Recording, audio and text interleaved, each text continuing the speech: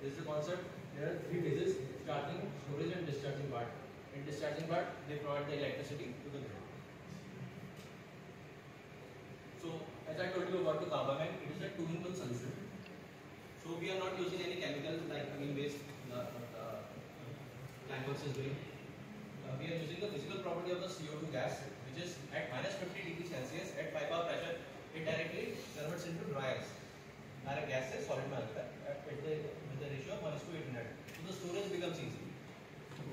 So both CDR and energy storage is expensive, but doing it together, that is the innovation part. Doing it together, uh, cost down, cost comes down drastically. So our product processing is cost changing selective government policies. In this, we have to uh, work with the government, state as well as center, because only uh, Gujarat government has the emission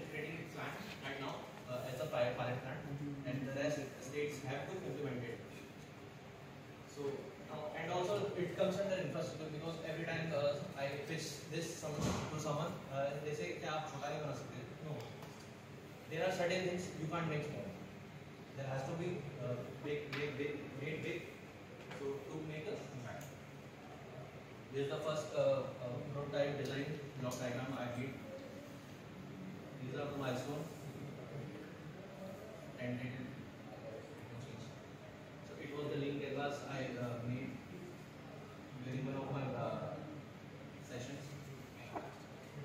value? Like uh, greenhouse gases and petroleums, which I already talked about. And direct capture cum energy storage is the solution, common solution. Extra carbon dioxide of the air, which is to be needed because अगर आज emission zero भी करते हैं फिर भी climate change ऐसे आती है क्योंकि that chunk is already there. We have to leave.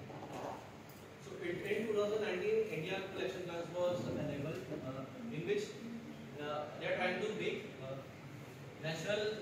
natural refrigerant to make it mainstream, like ammonia and CO2. Because जब refrigeration का start हुआ था, तब they were the main. But उसके बाद efficiency के लिए उन्होंने greenhouse uh, CFCs को लाना use किया and that also make the issue. Like ozone layer deplete हुआ था, उसके बाद वो change हुआ, but अब वो greenhouse अभी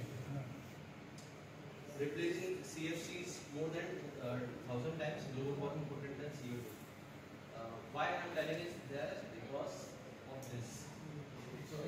uh, we can see the refrigeration has the highest uh, percentage. Why? Because refrigeration is a big part of the industry in, mine, uh, marine, in industries, uh, refrigeration has to be done. But they use CFCs. Like uh, what has happened in 2020, Infosys uh, declared themselves as we are carbon neutral. We are carbon neutral and renewable energy is But for the data centers, you are using energy Data center you are using the ACs. They have CFCs in it. So end of the life में जब वो जाएँगे तो वो भी emissions करेंगे और वो हज़ार गुना दो हज़ार गुना करेंगे. So they are not counting it. And industry भी उसको नहीं देख रही. Uh, they are using like a marketing. thing. This chart represents uh, total CFC emissions by These are the solutions जिसको करके हम इसको net zero achieve कर सकते हैं और इसका share